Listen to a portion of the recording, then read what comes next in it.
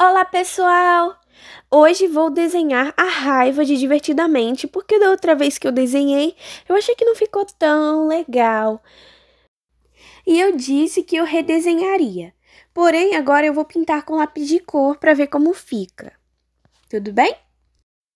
E só relembrando aqui para vocês que eu pretendo fazer a emoção que me pediram para eu criar, né? Que é o amor.